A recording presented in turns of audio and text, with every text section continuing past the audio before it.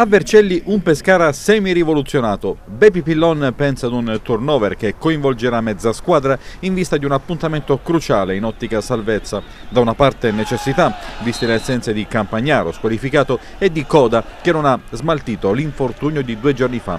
Dall'altra una valutazione ponderata del tecnico trevigiano che distribuisce le forze in una settimana con tre impegni ravvicinati. Cinque le novità. Al centro della difesa sarà Perrotta ad affiancare Fornasier, il quale per l'occasione diventerà il centrale di destra. Pronto a rientrare negli 11 anche Mazzotta sulla corsia mancina, gli farà spazio Fiamozzi con Crescenzi che andrà ad occupare il binario di destra. A centrocampo Pillon darà una opportunità da titolare a José Machin, promosso dopo l'ottimo secondo tempo con il Bari. Andrà in panchina Koulibaly, intoccabili Balzania e Brugman. In particolare il centrocampista uruguaiano stringerà ancora i denti perché sempre alle prese con delle noie muscolari. In avanti spazio a Falco e Cocco.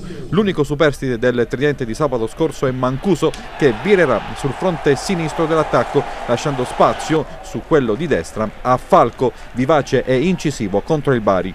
Coppie d'esterni a piede invertito dunque. Sul fronte offensivo può scoccare l'ora di Andrea Cocco. Pillon conta tanto sul centravanti sardo che potrebbe partire dal primo minuto. Facile supporre una staffetta con Pettinari, un po' perché l'ex vicentino non ha i 90 minuti nelle gambe, un po' perché lo stesso Pettinari ha appena ritrovato la via del gol al culmine di una partita encomiabile per quanto dispendiosa. Ecco perché ci potrebbe stare una iniziale panchina. Al Piola di Vercelli Pillon cerca la prima vittoria della sua gestione.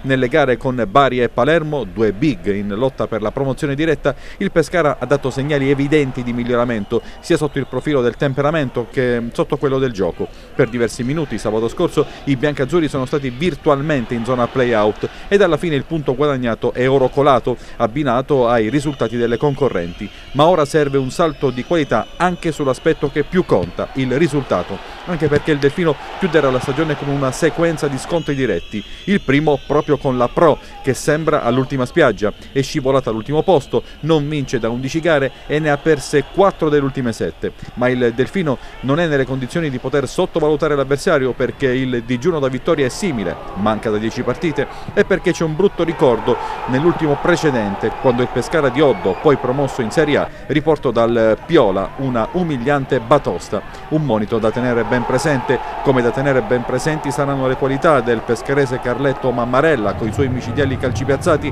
e la voglia di vendetta del portiere Mirko Pigliacelli, titolare del Delfino a inizio stagione e ceduto a gennaio dopo lo screzio di Empoli avuto con l'allora tecnico Zeman.